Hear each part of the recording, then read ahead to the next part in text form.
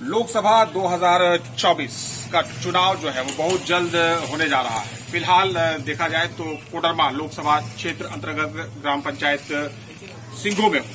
यहाँ के लोग हमारे साथ युवा है। आइए इनसे बात करते हैं। आपका स्वागत है हमारे चैनल में। लोकसभा चुनाव नज़दीक है। जो सांसद यहाँ की रही, अन्नपूर्णा देवी, उनका काम पिछले पाँच वर्षों में कैसा रहा? मिला जुला के तो ठीक ही रहा, लेकिन हमारे क्षेत्र में वो उन्होंने पहले भी बोली थी कि डिग्री कॉलेज हम लोग यहाँ पर बनवाएँगे, लेकिन उसका किसी तरह से हम लोग को अभी तक देखने को नहीं मिला है। उसके बाद जो है, सो बाकी सब कुछ ठीक ही है, लेकिन वही डिग्री कॉलेज के बारे में बोली थी डिग्री कॉलेज का आश्वासन आप लोगों को मिला था सांसद महोदया के द्वारा, और अब तक उसको अमली जामान नहीं पहनाया गया। ये एक समस्या। आप से जानना चाहेंगे कि आपका जो क्षेत्र है, आपका जो एरिया जहाँ के आप रहने वाले हैं, तीसरी प्रखंड, इसमें मुख्य रूप से जो मूलभूत समस्याएँ आप लोगों के संज्ञान में है, वो कौन कौन सी? समस्या इन्होंने सही बोला कि डिग्री कॉलेज होना चाहिए, बहुत ज़रूरी है, बहुत दूर दूर जाना पड़ता है यहाँ के बच्चों को। ऐसे छोटी मोटी विकास का कार्य हुआ जैसे हम लोग को बगल में कटनी का रोड है, वो बना है। पानी टंकी का जो था गुमगी का बहुत बड़ा समस्या वो भी हो ही गया है ज़मीन विवाद के लिए रुका हुआ है। बाकी कार्यकाल बहुत अच्छा रहा लेकिन और हम लोग को जितना होना चाहिए उतना नहीं हो पाया लेकिन भाजपा ने एक बार फिर से अन्नपूर्णा देवी को टिकट दिया है। क्या लगता है आपकी क्या राय है? क्या भाजपा का ये निर्णय सही है या फिर कोई नया चेहरा आना चाहिए था? नहीं नहीं बिल्कुल सही है। जब उनका कार्यकाल अच्छा रहा तो बहुत ही अच्छी बात है कि टिकट दी टिकट अच्छा है हाँ। काम उन्होंने अच्छा किया है। बिल्कुल। आप थोड़ा सा पास आइए। क्या नाम है आपका? मेरा नाम संजय विश्वकर्मा विश्वकर्मा जी कोडरमा लोकसभा क्षेत्र की कोई एक प्रमुख समस्या तीसरी प्रखंड की एक कोई प्रमुख समस्या जो आपके संज्ञान में है और आने वाले समय में कोई भी सांसद बन के आए जिनके माध्यम से आप उस समस्या का समाधान चाहते हैं क्या? है समस्या का समाधान है ये हम लोग यहाँ ढिबरा जो है सो हम लोग का रोज़गार सबसे ज़्यादा यही है। और ढिबरा बंद होने के कारण से हम लोग बहुत यहाँ भूखमरिया हो गया। मतलब ये है कि ढिबरा जो है जो। आप लोगों का आय और इनकम का एक बहुत बड़ा स्रोत था जी, जी, वो बंद है काफ़ी लंबे समय से। जी, जी, और सांसद कोई भी बन के आए आप लोग चाहते हैं कि जो सांसद बन के आए जी। वो ढिबरा का जो पहले की तरह से रोज़गार था कारोबार था वो पहले की तरह फिर चलने लगे। चलिए हमारे साथ बात करने के लिए धन्यवाद। आप युवा हैं आप अपना नाम बताएँ। आप बताइए कि किस तरह का सांसद होना चाहिए? क्या अन्नपूर्णा देवी ने अपना पाँच वर्ष का जो कार्यकाल है, वो ठीक से गुजारा है, काम किया है लोगों का? नहीं, लगभग तो है, लेकिन कुछ उसमें कमी रह गई है। हम चाहते हैं कि जो वादा करे, आने वाली सत्ता में जो भी वादा करे, उसको पूरा करे। यहाँ होता है कि वादा कर लिया जाता है और उसको पूरा नहीं किया जाता। या तो प्रोसेस में छोड़ के उसे इतना प्रोसेस कर दिया जाता है कि मतलब दूसरी बारी आ जाती है, उसके बाद भी काम पूरा नहीं हो पाता है। तो बहुत ऐसे ऐसे काम है, जैसे बहुत से ऐसे गाँव है जिसमें पुल की ज़रूरत है। जैसे हमारे खिरोद गाँव है, वहाँ पुल की ज़रूरत है और वहाँ की जनता काफ़ी वर्षों से कोशिश कर रही है कि यहाँ पे पुल बने। लेकिन इसका ना तो कोई सुनवाई हो पा रहा है, ना तो वर्तमान में जो हमारे सरकार है वो भी कुछ नहीं कर पा रहे। चलिए ठीक है एक प्रतिक्रिया लेते हैं। अनुभवी हमारे साथ एक ग्रामीण जुड़ रहे हैं। आप बताएँ क्या नाम है आपका?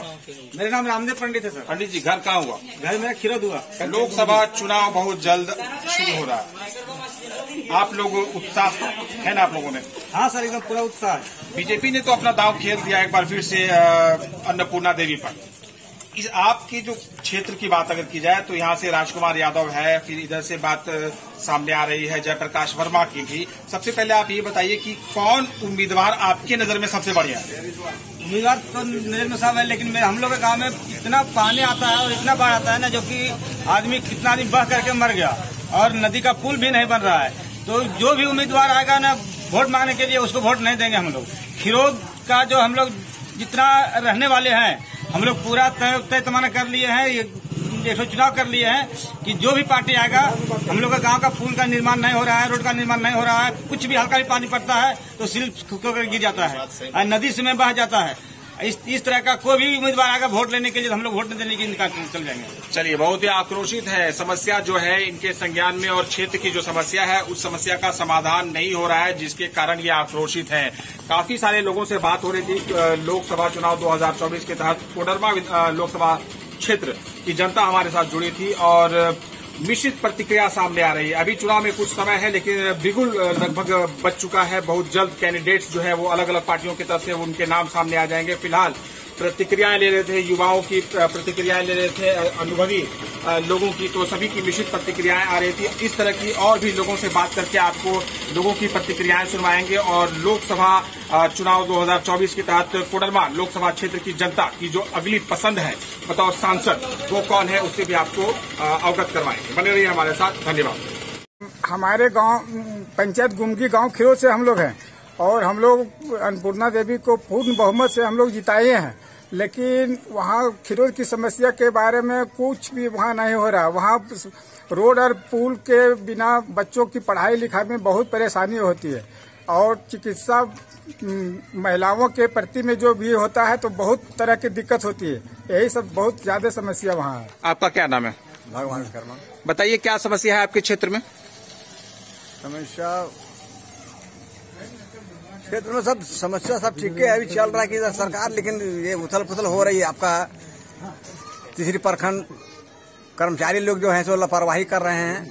कर्मचारी लापरवाही करते हैं। ढीबरा के बारे में क्या कहना चाहिएगा? ढीबरा के लिए बारे में तो हमारा समस्या तो बहुत गंभीर आ रहा है कि जो क्या आप लोग चाहते हैं कि ढीबरा फिर से चालू हो? फिर से चालू हो तो हमारा समस्या कट सकता है ताकि आप बताइए क्या नाम है आपका? मेरा नाम गोपाल राम है। आप क्या कहना चाहते हैं? हमको विशेष करके बहुत परेशानी है दो हज़ार उन्नीस सौ नब्बे ईस्वी से।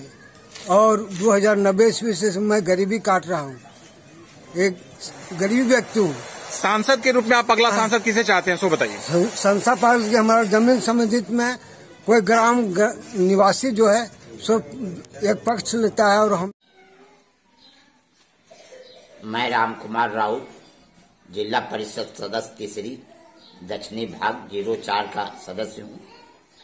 और अभी वर्तमान में लोकसभा चुनाव हम लोग के सामने आ चुका है और वह त्यौहार बहुत जल्द दस आज दस तारीख हो चुका है। बारह तेरह तक यहाँ आचार संहिता भी लगने वाला है। अभी तक यहाँ भाजपा से पुराना कैंडिडेट श्रीमती अन्नपूर्णा देवी जी को टिकट फाइनल हो चुका है। गठबंधन से सुन रहे हैं, जान नहीं रहे, लेकिन सुन रहे हैं कि यह सीट जे ऐसी माले के, माले को मिला है। अब उनसे दो कैंडिडेट का नाम आ रहा है, विनोद सिंह, बगोदर के विधायक हैं। दूसरे यहाँ पूर्व विधायक श्री राजकुमार यादव के भी नाम सुन रहे हैं। अब किसको फाइनल हुआ है ये अभी हमको जानकारी पूर्ण रूप से पता नहीं है।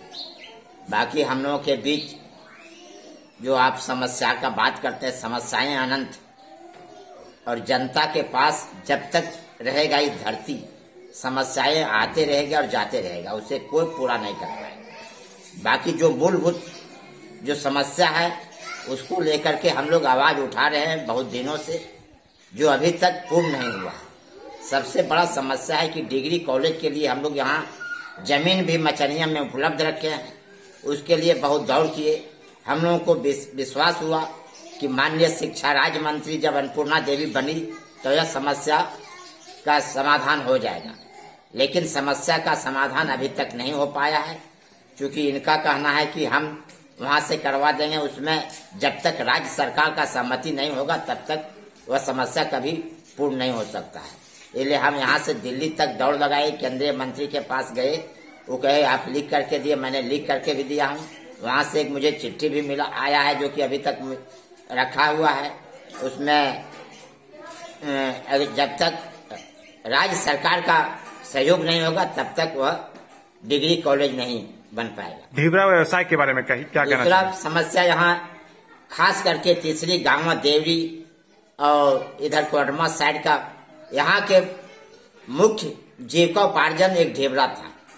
जो उसे भी आज करीब पाँच वर्षों से वह ढेबरा का कार्य बंद हो चुका है। क्योंकि जब तक यहाँ पर उसका दबाव नहीं होगा डीएफओ के प्रति, प्रशासन के प्रति, तब तक ढेबरा यहाँ फिर चालू नहीं होने जा रहा है। क्योंकि एक अगला महीना में यहाँ शायद आठ या नौ को गाड़ी पकड़ करके, फॉरेस्ट से पकड़ के बंद कर दिया गया है, जिसके चलते यहाँ के लोग सहमे हुए रहते हैं। और खुल के ढेबरा का काम नहीं कर पाते हैं जिसके चलते बंद हो गया। यहाँ के लोग बाहर जाके पलायन कर रहे हैं। भूखमरी कगार पर है। यहाँ इन साल बारिश भी ढंग से नहीं हुआ हर जगह रोपा भी नहीं हुआ। उस पर भी सरकार यहाँ पर अभी तक कुछ नहीं किया है। नहीं तो किसानों को किसी तरह का लाभ मिला है। ये जो दो प्रमुख मांग आप लोगों के हैं मुद्दे हैं ढिबरा और डिग्री कॉलेज का क्या आप जो अगला सांसद बन के आता है इस क्षेत्र से हाँ। उनसे आप क्या कहना चाहेंगे? देखिए अभी तो हम लोग को सांसद पर भरोसा नहीं। है भरोसा है अगर यदि यहाँ बाबूलाल मंडी अगर यदि यहाँ के मुख्यमंत्री बन जाए कहीं तो उन पर भरोसा है कि यहाँ हम लोग को डिग्री कॉलेज भी हो जाएगा और तीसरी को हम लोग उग्रवाद प्रभावित क्षेत्र में बिहार के सटे है और यहाँ एक जिला का मांग करेंगे तब। तीसरी को जिला के मांग हाँ और तीसरी गांवा सतगावा देवरी चार प्रखंड का जो है सो एक अलग क्षेत्र बनाया जाए, विधानसभा में भी काट करके और इसको एक अलग जिला जोड़ा जाए और ये चारों जिला क्योंकि बिहार बॉर्डर से है और तीसरी जब जिला बन जाएगा तो उग्रवाद तो सौता ही खत्म हो जाएगा और यहाँ विकास भी होगा।